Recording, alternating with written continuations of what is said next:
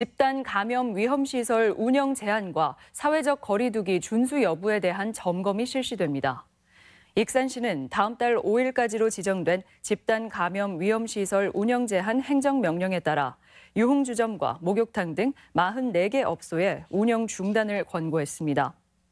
불가피하게 영업을 계속하면 출입자 명단을 기록하고 감염 방지를 위한 소독 여부 등 감염병 예방 수칙을 준수하고 있는지 집중 점검할 예정입니다.